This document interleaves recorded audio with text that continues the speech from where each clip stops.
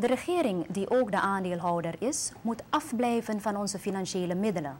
Dat zegt Raymond Fort, bondsvoorzitter van de NV Havenbeheer. Hij sprak vanmiddag tijdens de traditionele opoyari van het bedrijf. Ford zei verder dat het afgelopen jaar niet goed is verlopen voor de NV Havenbeheer, zoals de bond en het personeel hadden gehoopt. Echter moeten we met elkaar blijven praten om het bedrijf verder op te bouwen. Ford sprak ook zijn dank uit aan het personeel voor hun harde werk en gaf hen mee dat zij de hoop niet moeten opgeven in het bedrijf. Ik denk niet dat u bang hoeft te worden. Ik denk dat iedereen die hier is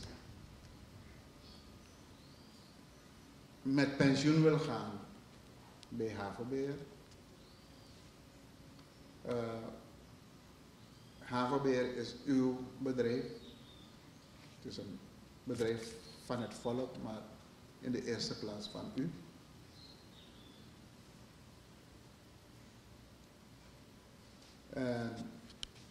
Ik wil u aanmoedigen om in 2017, dit jaar, waarin wij hoopten toen wij aankondigden in 2015 dat 2017 een beter jaar zou worden.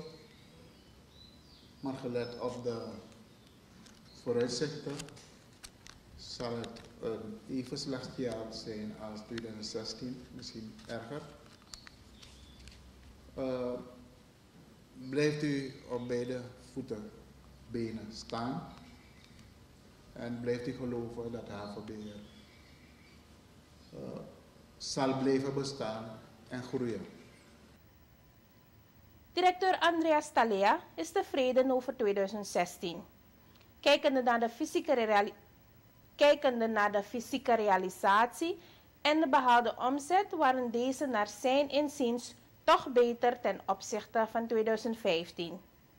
Volgens hem heeft het bedrijf een minimaal verlies geleden. Thalia ging ook in op de verwachtingen voor 2017. Dus wij verwachten minder gunstige resultaten in 2017.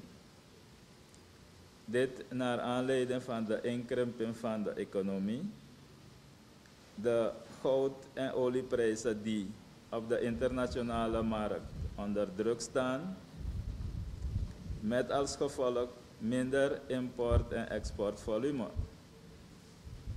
Dus een mindere handelsvolume. Die verder kunnen leiden tot teruglopende inkomsten. En een andere issue is die zich uh, voordoet, is de verschuiving in de scheepvaartindustrie die ontstaat, is door de rehabilitatie en uitbreiding van de haven van Jamaica. Er vinden thans verschuivingen in de scheepsroute met de nodige consequenties voor, voor ons. Andreas Stalea, directeur van de NV Havenbeheer. Vanmiddag tijdens de traditionele Opoyari die gehouden is de Bridgeview.